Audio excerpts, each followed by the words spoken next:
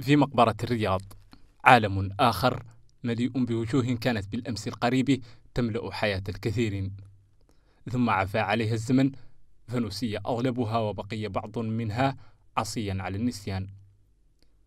أحد من فقد أحبته وواراهم الثرى بالرياض الراحلين في إحدى زياراته المتكررة لوالده المدفون هناك.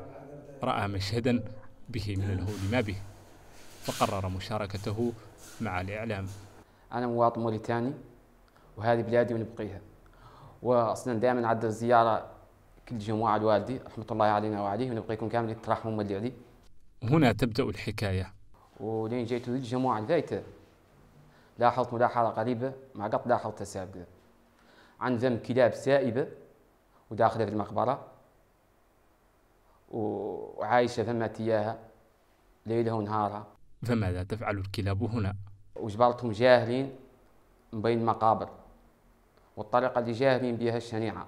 لا تقول عنهم قد يوصلوا للميت. وهذا عندي عندي ان فيديو منه وعندي اللي صور منه. طرد الرجل الكلاب البرية عله بذلك يكون أنقذ جثثا لا تستطيع رد الأذى عن نفسها من أن تنهش. وفي زيارته التالية تكرر المشهد. وكأن الأمر روتيني تعودت الكلاب على أدائه كل يوم دون رادع. ولين عاد كيف اليوم يوم الحد؟ ومشيت عن يوم الجمعة درت زيارتي وتشيت الكلاب وخاضوا بعض.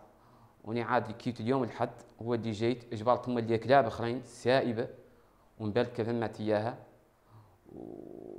وصورتهم وعدلت منهم صور وعدلت منهم أن فيديو وجبتهم هنا المرابطون فأطلق نداء استغاثة لحماية أرواح غادرتنا وآلمنا فراقها من أن تكون فريسة الإهمال.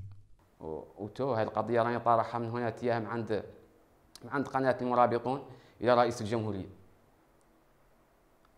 آه الله يتقبل لنا يتقبل منا ومنكم. هذا هو اللي عندي. يعني أنا لهي نسكت عن القضية اللي نبلغ بها كاملين نبلغ بها القنوات ونبلغ بها هم اللي آه، كامل تبلغوا باللي هذا موتى وعندهم يقد يلطف بهم ولا إحنا فهل تلبي السلطات؟ النداء.